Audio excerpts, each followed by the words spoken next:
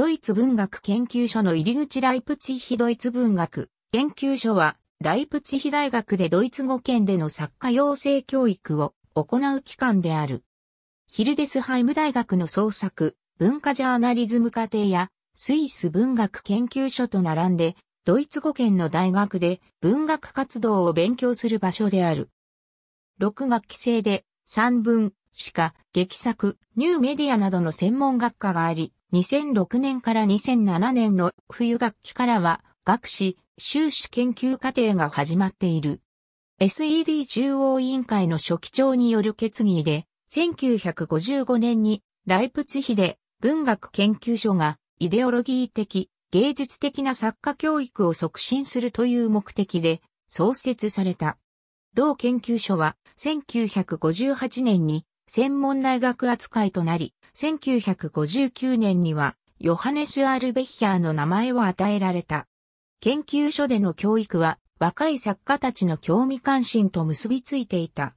しか、三文、劇作のゼミナールが教育の中心であった。また、精神的な地平を拡大して、創作意欲を刺激するために次のような講義も行われていた。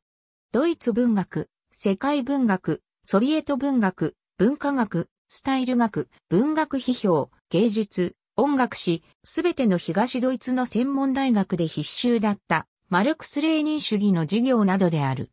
レーギスの活端工場で毎年行われる国営企業の実習も教育内容に含まれていた。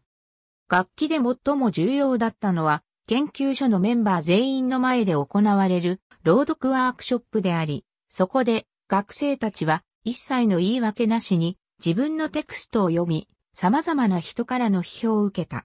文学研究所で直接研究するだけでなく、遠隔授業を受けることもできた。この授業形式を取る学生は、4週間ごとに週末3日間の対面授業を行った。研究所の目的は、ドイツ社会主義統一等のいう意味での社会主義リアリズムの作家を育てることであった。しかしそれにもかかわらず、国立研究所の庇護にあって、相対的に開かれた空気が支配しており、国際的にも通用するかなりの数の作家を輩出した。研究所の中心人物は15年以上も活動していた詩人のゲオルク・マウラーで、1955年から1970年まで、シカゼミナールを開き、若い東ドイツの詩人たちに絶大な影響を与えた。ザクセン自由州は1990年12月31日に文学研究所の解体を決議した。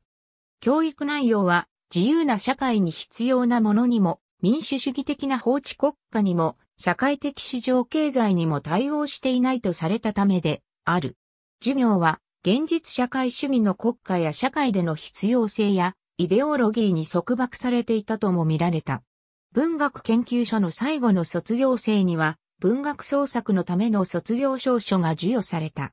このことは新しいものと見ることができる。学生たちは1991年1月1日から1月6日に研究所を占拠するなどの抗議活動を行ったり、議員や学者、多くの作家たち、特にハンス・メイヤーやバルター・イエンスが抵抗したため、ザクセン州、ビーデンコプフ政権は文学研究者について再考しなければならなくなった。その結果、古い研究所を解体した後で、新しい研究所を再建するという構想が生まれた。ライプツヒ大学の参加で、ドイツ文学研究所が設立され、1995年に教育活動が始まった。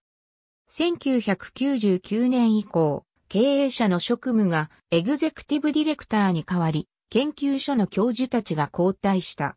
2006年と2007年の冬学期に文学創作学士課程は学位課程となった。授業内容は理論ゼミナールと実践ゼミナールに分かれた。文学史的、文学理論的な基礎は学生にテクストの創作方法を理解させ、批評できるようにさせるための前提を作っている。